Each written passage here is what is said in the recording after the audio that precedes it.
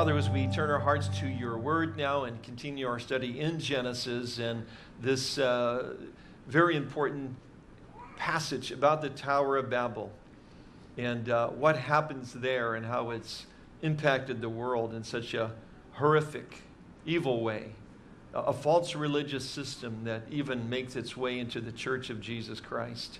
Lord, and we know that from scriptures, uh, Babylon this Mystery Babylon will play a, a key role, Lord, in future events. But Lord, help us to, to not have a Babylonian heart. Help us to see what uh, really is the, uh, the essence of, of the concern here for this tyrant who rules the world and this false religious system. So use your word. Help us to have ears to hear. In Jesus' name, amen. We, uh, we used to only hear about this idea of a new world order at prophecy conferences. A lot of Christians, you know, that's a buzzword, and they know we're talking about the fulfillment of Scripture is that there will be a world leader referred to as the, the Antichrist, the man of lawlessness, the man doomed to destruction. He's known by a lot of different names in the New Testament, who will arise out of revived Roman Empire and set up his own little one world dynasty, and with it is a one world religion. That one world religion is referred to in, uh, by John in Revelation 17 as Mystery Babylon the Great, the mother of harlots and of the abominations of the earth. So there's a false religious system called Mystery Babylon. It begins in Genesis 11, right here with a man named Nimrod.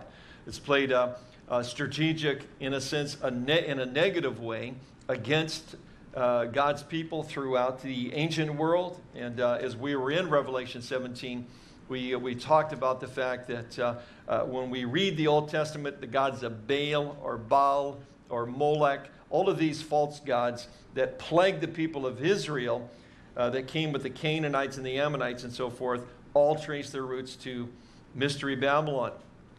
experts tell us that uh, the roots of this religion can be found in Egypt and in India and in Pakistan and uh, in the Middle East and really around the world.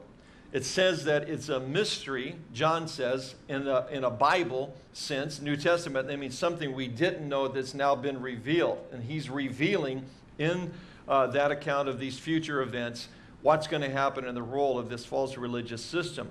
It's the mother or the source of false religious systems. So it doesn't matter if you're talking about Buddhism, Zoroastrianism, Hinduism, whatever else it is. In essence, there's part of that that can be traced back to Genesis 11 in Mystery Babylon, this religion here that will be the last world religion of the end time period. So, very interesting as we get to the historical account of, uh, of Genesis 11. Our concern should be what it does in our own lives. Francis Thompson, in just a portion of one of his poems, says about Babylon, and all man's Babylonians strive but to impart the grandeur of his Babylonian heart. We're going to see that in Nimrod, the grandeur of his Babylonian heart. What is that? it is like self centeredness on steroids. It's, it's, uh, it's what world leaders have strived for. But the concern is that thinking can get into the heart of every one of us. We see it kind of epitomized in, in world leaders, though, and certainly Nebuchadnezzar was one of those guys. Remember, as he overlooks his own city and uh, considered one of the wonders, seven wonders of the ancient world, uh, we, we call it the Hanging uh, Gardens of Babylon. Daniel quotes him as he says, Is not this great Babylon which I have built by my mighty power? Is a royal residence and for the glory of my majesty. And then God did a funny little thing with him. and We had the first werewolf that's in the Bible. I know that's a popular thing, but it really is in the Bible. It started with a guy named Nebuchadnezzar, and, and uh, God dealt with him harshly to humble him and bring him around. But certainly we would say he had a Babylonian heart as well. You've got King Herod, where at a point in time appearing before a crowd wearing his beautiful new uh, uh, garment that uh, shimmered in the sunlight, and the crowd was actually saying, Are not these the words of a God? And Herod's going, Yes, I am. And then God dealt with him as well, a Babylonian heart. Alexander the Great, Caesar Augustus, Louis XIV, Stalin, we could go on, of all those world leaders that have a Babylonian heart but it's something that can uh, affect each and every one of us because we have it every time, as we'll see, we do something to make my name great or make my name known. And there's something that is in us that drives us to do that, that's in the fallen nature. Uh, and uh, what drives it spiritually goes all the way back to Genesis 11 here. We uh, mentioned also that uh, Moses, uh, last week, as we went in Genesis 10, said that Moses intentionally takes these two chapters and he flips them chronologically because he wants us to know the, the outcome of the Tower of Babel before he even tells us about it. He wants us to know the genealogies and what happens to the sons of Shem, of Noah, Shem, Ham, and Japheth, uh, and their descendants, where they come from and where they go, as God scatters them because that's what he has to do. He wants us to know the outcome of what he does here before we even begin to read about it. Again, it's just another uh, insight into Moses in terms of his literary skill, trying to help us understand the story and be warned of the story of Genesis 11. Well, let's look at uh, the first thing that I want to mention, which is the, the reign of Nimrod, which again is given back in chapter 10. We looked at it uh, briefly last week, but verse 8 to 12 says Cush begot Nimrod. He began to be a mighty one on the earth. He was a mighty hunter before the Lord. Therefore, it is said, like Nimrod, the mighty hunter before the Lord. And the beginning of his kingdom was Babel, Erech, Akkad, Calneh, in the land of Shinar.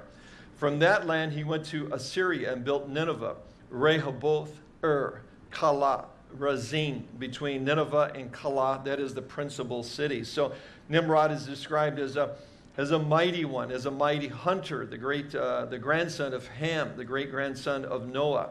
Uh, but what he is is a mighty tyrant in the, sound, in the sight of God. He's not a hunter of animals, he's a hunter of people. Uh, we're talking about a historical character. I quoted one reference uh, off a manuscript or a stone last week talking about uh, an extra biblical source about Nimrod, that he was a hunter of people, that he was bloodthirsty, and that he was in rebellion against Jehovah God. Uh, we find his name all over the archaeological ruins of the, the Mesopotamia area. So when we talk about the Tower of Babel, it's not a Sunday school story. It's an actual place, an event that, did, that, uh, that happened. Uh, interesting, I, I, uh, I, remember several years ago, and you probably saw some of the articles when we first began to learn more about uh, DNA and the complexity of DNA. Uh, and as scientists began to study it more, came to the conclusion, the realization that, that all of us came from a common man and a woman, that we all of us share a common DNA at its uh, source. And they believed that it was traced back to the ancient Sumeria culture in Mesopotamia. By golly, that's what the Bible said all along. And, uh, but uh, so that was uh, uh, kind of big news several years ago. in my reading and studying this week, I, I found that uh, there are many of those that study languages that say the same thing that all languages can be traced back to one common language in the ancient world, in the culture of Sumeria, on the plains of Shinar, just like the Bible says. Very, very interesting. So, again, just a reminder that when we read about these things, and this man, Nimrod, he is an actual historical person, but he certainly is a type of the future Antichrist as a world leader. Notice he's mighty for himself. He's a mighty, mighty hunter of people. He's against God, and he builds his kingdom. He is the founder of the Babylonian Empire, we're about ready to read about. He organizes the enterprise of the construction of the Tower of Babel and then extends his kingdom to Assyria. So let's get to chapter 11 the city and the tower of the rebellion. And that's in verse 1 to 4. Now the whole earth had one language and one speech. And it came to pass as they journeyed from the east that they found a plain in the land of Shinar, and they dwelt there. Then they said to one another, Come, let us make bricks and bake them thoroughly. They had brick for stone, and they had asphalt for mortar. And they said, Come, let us build ourselves a city and a tower whose top is in the heavens let us make a name for ourselves, lest we be scattered abroad over the face of the whole earth. So again, they are, we say rebellion because they are doing the opposite of what God said. God said to Noah and his sons, when you come off the ark, scatter. uh, go over the face of the earth and multiply. They said, We're not doing that. Actually, we're doing the opposite. We're going to gather, and we're all just going to stay right here. Uh, and he's saying, no, as we read last week, it was necessary that they scatter and become many lands and nations and peoples and languages and families, because as we saw at the end of the message last week, Paul tells us the reason for that, why that was God's plan in Acts 17, is that so that men would cry out and come to know the living God. That God had a plan that involved every language and people, it was necessary for them to not group together in one language and one empire. It was necessary for them to spread out. And they're saying, uh, I don't think we're going to do that. In fact, this guy says, I think I'm going to build my own kingdom. And in fact, I think we'll kind of have our little religion thing going on here. Somebody gets the wrong idea and starts worshiping Jehovah God any longer. And that's the essence of the, the rebellion. Notice the rebellion occurred during a time of unity, one language, one speech. One language literally means one lip or the same words.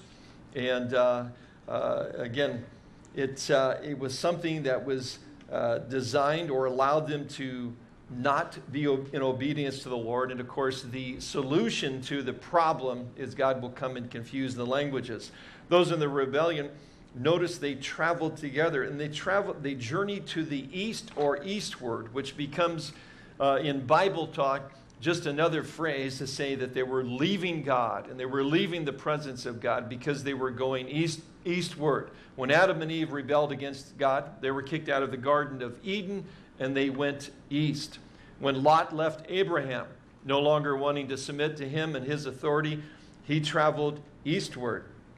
Abraham's sons, by his concubine Keturah, went and were sent away with Isaac, and they were sent eastward to the east country. Jacob fled his homeland in rebellion and traveled to the people of the east. And we could go on and on. It's just a phrase, Moses carefully using it. Even where they go and the direction is indicative of the fact that they were migrating uh, away from God. Uh, Moses clears uh, uh, this all clears up the other statement. He says, "And they settled there." Verse two. It's not uh, uh, incidental. It's the opposite of being dispersed. So Verse 4 Let us be scattered abroad over the face of the whole earth. They are doing the opposite of what God had asked them to do. Uh, the third thing about the rebellion is they, they built more than a city and a tower. And, and it is true in all of these archaeological ruins. And we mentioned last week that in Iraq, present day Iraq, where the area we're talking about, there, there are 24 ziggurats or towers that have been excavated. We're talking about one in particular. We'll give you some details about uh, in a moment. But in each case, the excavation uncovers a city and a tower. Sometimes we, you know, get those uh, Sunday school pictures, and I'm going to show you one in a minute. You know, this uh, this like open plain, you know, this tower in the middle of nowhere. It wasn't in the middle of nowhere. It was always a city and a tower, and a very complex city uh, at that uh, at the same time. Uh, there are two temples with towers that is suggested are, is the actual Tower of Babel. One is the temple of Marduk, or the, the moon god. Uh, the other is the temple of Nebo. Nebo ends up being a city, a Canaanite city, and when Joshua and the children of Israel come into the land, just the name of the city after it's taken over, they, they wipe it out and change the name because they knew it was the name of a Babylonian god. Uh, that uh, is the place, the temple of Nebo, that most writers, most archaeologists, as well as traditions handed by not just Arab sources but Jewish sources, also say is the Tower of Babel. Uh, and it is located in the city of Borsippa, now called Birs Nimrod. So even the, the name of it suggests that it was the, the temple and the tower that Nimrod built. Located on the west bank of the Euphrates, its ruins now extend 150 feet into the air. The tower at the time it was built was 300 feet uh, in, uh, in height, and, uh, and we know a lot about it. We have ancient descriptions of it. We have uh, other historians going way back, like Herodotus, that write about it as well. It was built in seven stages uh, uh, multicolored on the way up. The top, the sixth stage was usually a, a darker blue, sometimes with stars on it, because it was the idea it was above the stars or into the heavens. And the top of it was silver, uh, uh again, in adoration or their patron god, the moon god, Marduk.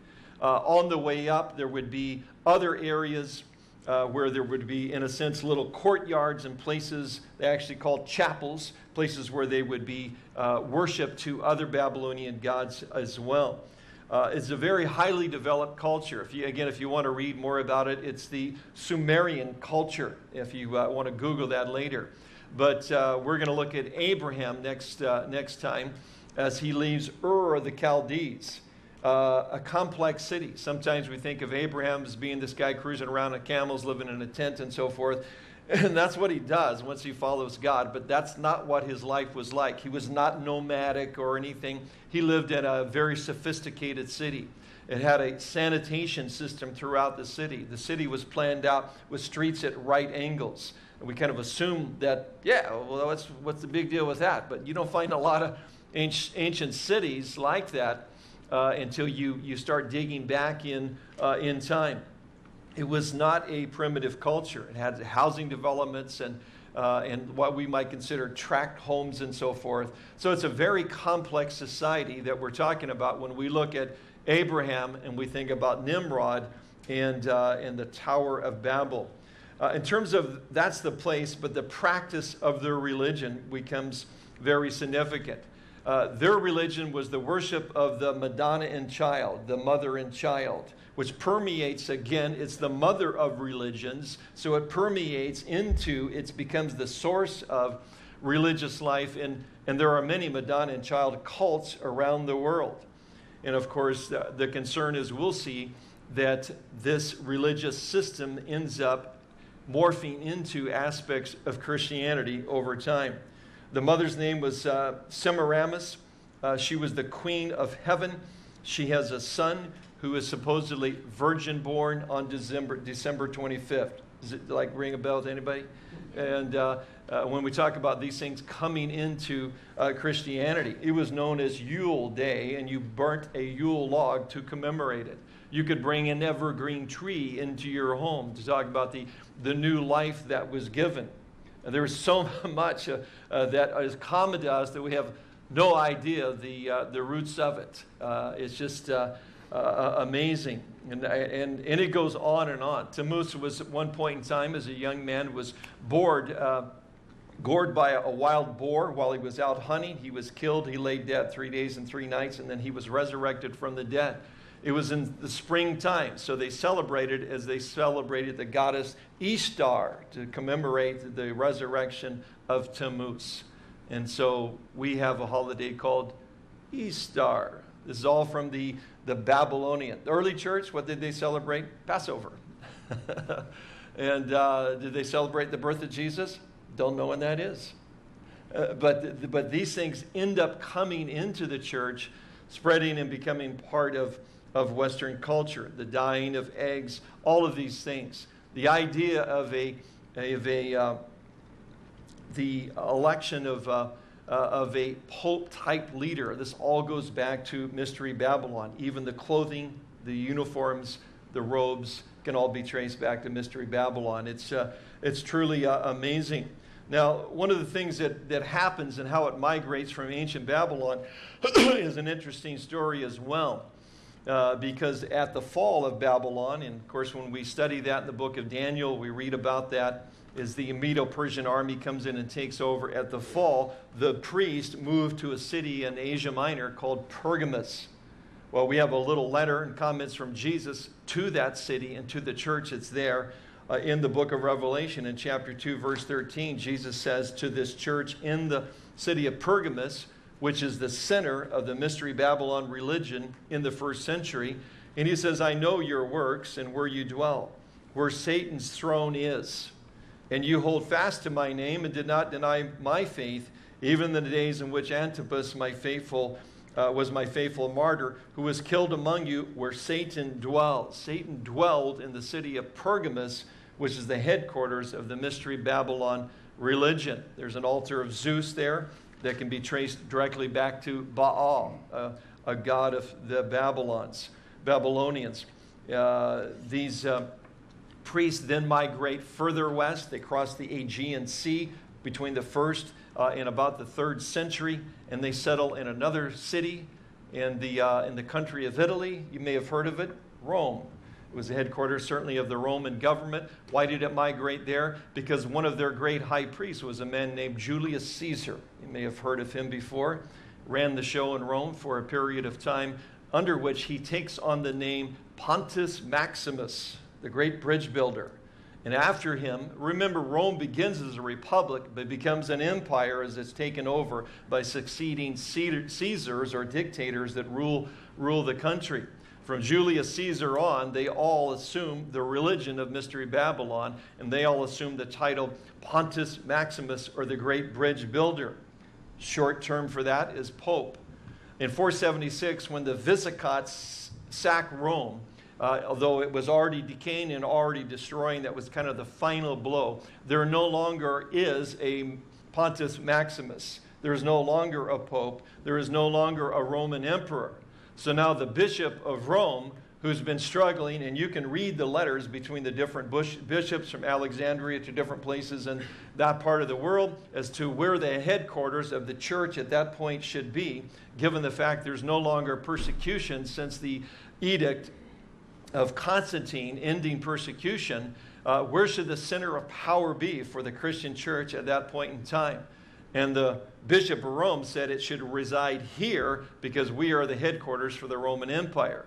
So once the last emperor reigned and used that title, he took the title on himself. So beginning in the late 5th century, now you had a leader of the church taking the title of, of Pontiff Maximus, the great bridge builder or the Pope of the church. It comes right from Mystery Babylon. And I'm really sorry if you come from a Catholic background and never heard this stuff before. Please don't shoot the messenger. This is just the historical events, and it's well documented. It's well documented. And there were, there were just things that, that, that fell and came right into uh, uh, the church uh, itself that comes right from a mystery Babylon. There's a, uh, today in Haifa, Israel, there's a, uh, a monastery, a Carmelite monastery, that at one time, before the fall of Rome, was a temple uh, to the Babylonian religion, right there in Haifa, their port city up in the, uh, up in the north. Uh, the man that was the high priest uh, of that temple, his name was uh, Damasus. He lived uh, in 366 to about 384. he's there ruling. and when the Roman Empire falls, and when the, the bishop in Rome takes that title he is appointed as one of the bishops of church of the church there in Israel. He comes right out of the mystery Babylon temple as their high priest and steps into a role being a bishop of a church. So you have this complete intermingling between these two things. All this say it all begins in Genesis 11. It all begins with a man named Nimrod whose name means rebellion who was a hunter of men and was bloodthirsty, and said, I will build a tower, I will build my own kingdom, I'll build my own religion, and it will be in complete rebellion against God. And God says in His Word that it becomes a mystery and it becomes the mother, the source of false religious systems around the world. One author Morris notes that uh, the essential identity of the various gods and goddesses of Rome, Greece, India, Egypt, and other nations uh, with the original pantheon of the Babylonians is well established. It's very easy to trace them back there. So there's the place, the Tower of Babel. It's an actual place, the archaeological site that uh, some of our men and women in uniforms may have passed through there and seen it on their way or flown over it at some point in time, sticking up 150 feet in the air. You might have seen it uh, if you were in the vicinity. It's an actual historical place, and so is Nimrod. His name is dedicated on monuments and written all over the archaeological remains of the Middle East. But it's more than just a place, it's a practice that has created problems for God's people through the Old Testament as well as through the New. The purpose was to, as they said, maintain unity in opposition to God and notice, make a name for themselves. Moses gives us a couple little sound bites you didn't think of Moses giving sound bites, but he did. He said, quote, come, let us make some bricks and bake them thoroughly. Uh, they had brick for stone and they had asphalt for mortar. That's a sound bite. And uh, I appreciate this, if you think about this, because this tells me that Moses had this little bit of sarcasm in his writing, in humor, which I do from time to time. So when I find it in the Bible, it helps me justify it. And so I always, I always like it when I can find it. Notice what he's saying. He's saying, these guys, what did they build with? Bricks. Not like us guys, stone. It's not like a good Israeli stone. They made some little brick. What did they, what did they put them together with? Some translations would say slime. Uh, I think uh, uh, the old uh, King James says slime. Uh, here it says asphalt. What do we use in Israel, Moses says? Mortar. It says their building was a joke compared to ours. Uh, so he throws a little comment in there. But again, the thrust let us build ourselves a city, or for ourselves, a tower uh, and a name. One ancient uh, Hebrew writer, writing a commentary for the Torah, his name is Nahum Sarna, says, Rooted in earth, with its head lost in the clouds, it was taken to be the meeting point between heaven and earth, and as such, the natural arena of divine activity. On its heights, the gods were imagined to have their abode constituting the obvious channel of communication between the celestial and the terrestrial spheres. The sacred mountain was looked upon as the center of the universe, the navel of the earth. I'm pretty sure New Age guys use that, term, that term today when they talk about Mother Earth and Gaia and all this stuff, the, the navel of the earth. It, uh, it all goes back to ancient Babylon and this religion. Their desire, again, was to make a name. And um, very interesting. It's kind of ominous, and Moses very careful in his writing. The only other place we find that previous to this was the Nephilim of old that we looked at, who were the men of renown who made a name for themselves, and as we saw, were really demonic entities that had come down to thwart the plan of God and the promise of God to bring a Messiah through a woman. But uh, so very, very ominous in this idea uh, of their name. And of course, to Moses, their name would become a joke compared to what would happen to them. Now, as we get to chapter 12, it's interesting because as God calls Abraham out of Ur the Chaldean and makes these promises to him, we call it the Abrahamic covenant promises in the land, uh, the Messiah would come through him, all the earth would be, uh, be blessed through him and his descendants and so forth. And he says, And I will make your name great. I want you to leave a group of people that build, build the tower. And again, through the genealogies, we saw that uh, the, the, one of the men born at that time, his name was Peleg, which means divided. And the text talks about how the world is divided at that point. Those that would follow false gods, those that would follow the true and living God, and they, remember, they, they crossed over the river Euphrates, and that word cross over means Hebrew. That's where we get the name for it. They would cross over and leave that world behind to a world that God was going to give him. In Abraham, we read about him. He was moving towards uh, a what? A city whose builder and maker was God, as opposed to a city he would build for himself. He would have a name made great, not through himself. It would just be something God would do, and then God would get the glory for it. They were all about making a name. Even the Messiah comes, and Paul says about him, he made himself of no reputation right? He became obedient to death, even death on a cross. Therefore, God exalted him to the highest place. What did he give him? A name that's above every name. Everything that man is trying to do on his own, with his own, pull himself by, up by his own bootstraps. This is pretty American stuff here, isn't it? Self sufficient and all that. And, you know, we, we like to be able to do stuff ourselves and everything. But God says, you know, you're a lot better off if you're just completely dependent upon me. In fact, it's Paul says it's in your weakness that you're strong. Because then my grace can be multiplied upon you. And we certainly all need the grace of God. It's a radical statement when it says they will make their name great. Now, I know that none of us have ever said that or had any thoughts through that. We're just completely humble people and we just serve others all the time. And it really doesn't matter to me who gets the credit for anything. No, it's not true. It's not true at all. we just we, we live in that sometimes. No, I told that story. No, no, I did that. No, I was the one. What you know? And we we get into this. I know when I was uh, uh, designing and building stained glass windows, uh, which I did for a couple of decades uh, and more than a decade ago. But uh, when I first started, that was, uh, that was such a thing to try to build a name and a reputation. If you're going to be able to get any jobs in the business community, it's going to be on your name and your reputation. And, and I would do a commission and get it done and try to photograph it and keep a record of it. And then the ones that I thought uh, might interest somebody, I would uh, uh, do it in black and white, write a few notes about it, where it was located, find some little twist or story that might interest one of the writers at the uh, Star Bulletin or the advertiser, and then send it all off to them in the hopes that he could look at this and go, My work is done this week in the Sunday Home section because I've got a story and I've got pictures, I'm going to go with it, which they would sometimes. And so I would do that periodically with magazines and so forth. Why? I wanted to make a name for myself. I want people to know my name.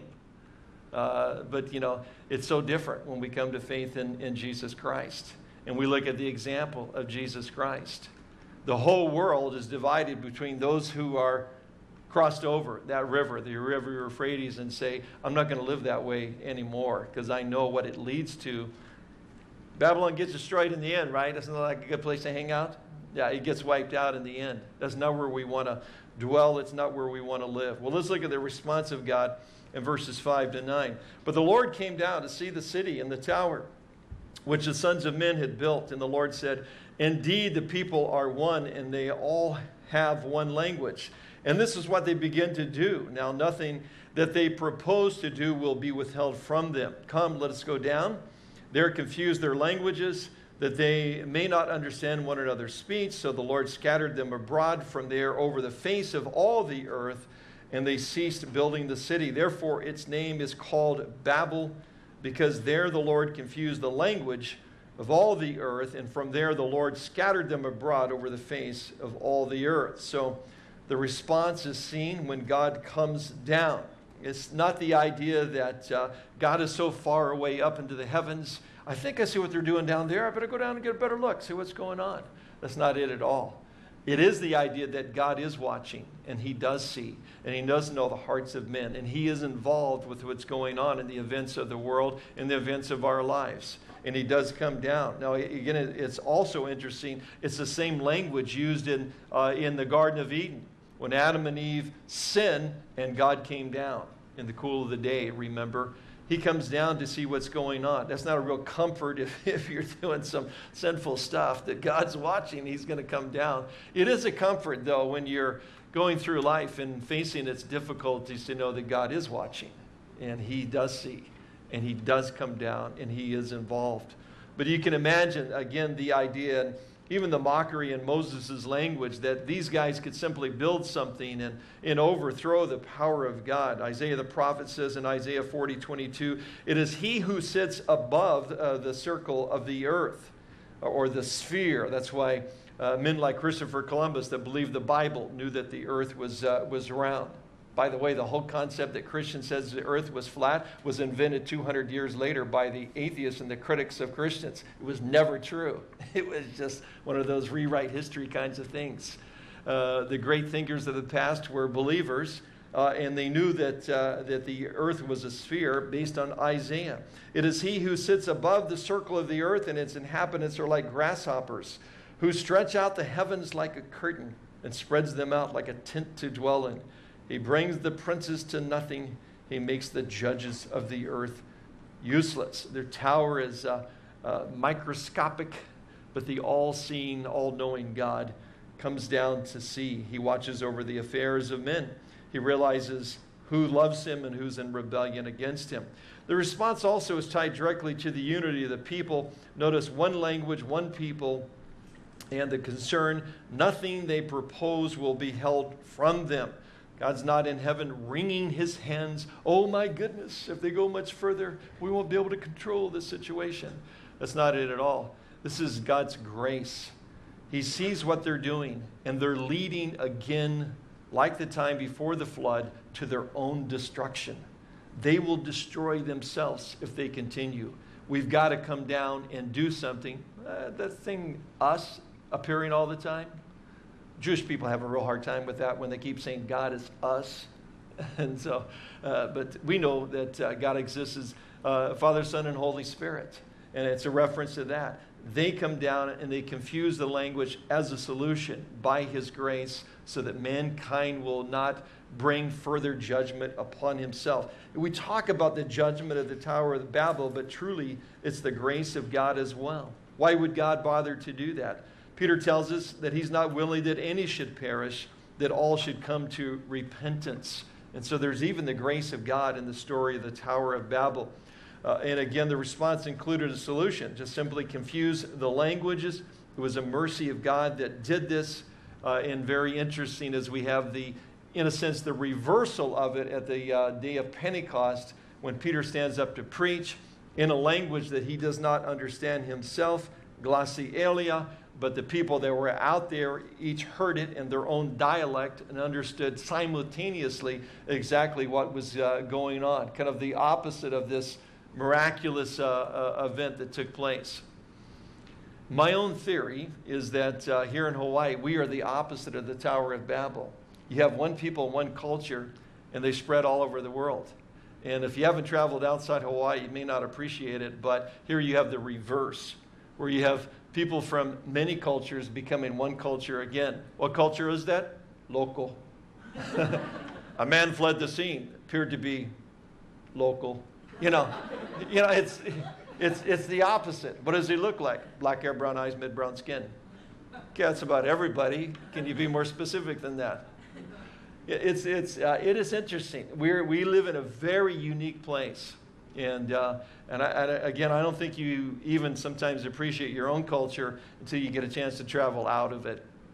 And I think it's one of the things that why people love, love to come here. It's not just the weather and the beauty and stuff, it's the, it's the people that are here because it's, it is this, uh, this blending of cultures and so forth. Uh, just beware if somebody starts building a tower in a city, then we, we could be in real, real trouble. Of course, the language that they speak, what would be the one language they would speak? Pidgin. So, so just my own little thoughts, commentary there. As long as we stay away from that tower thing, we're, we're okay. Babel no longer means the gate of God. Remember, that's what the word meant, but now in Hebrew, uh, it means confused. And Genesis links, links it to the fate of Sodom. Uh, as well. Isaiah, again, the prophet says in uh, Isaiah 13 9, Behold, the day of the Lord comes, cruel with both wrath and fierce anger, to lay the land desolate, and he will destroy its sinners from it. Further down in verse 19, and Babylon, the glory of kingdoms, the beauty of the Chaldeans' pride, will be as when God overthrew Sodom and Gomorrah. It will never be inhabited, nor will it be settled from generation to generation. It's been attempted to be rebuilt.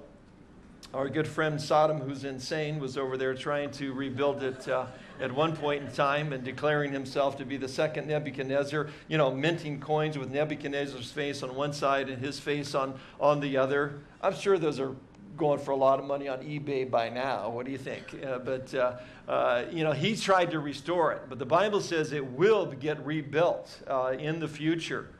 And, uh, and as we mentioned, the Ezekiel 8 invasion of Gog and Magog of Russia and Iran and a host of confederated states, which includes Turkey as well, which is the surprise twist in, in all of this. If you are an observer of the, of the Middle East and you watch what's going on with Turkey currently, they're involved. But as they do, they are destroyed, which would allow the opportunity to Iraq to be a major player in terms of oil and power in the Middle East. But the Bible says either way, whether we see it or not, it's going to get rebuilt. It's going to be a, a head or a center for economic uh, uh, growth. Uh, and uh, in the end, God will judge it, and He will judge it like He did Sodom and Gomorrah. But what it says to us is that this idea and concept of living for yourself, making a name for yourself, leads to nothing but God's judgment and destruction.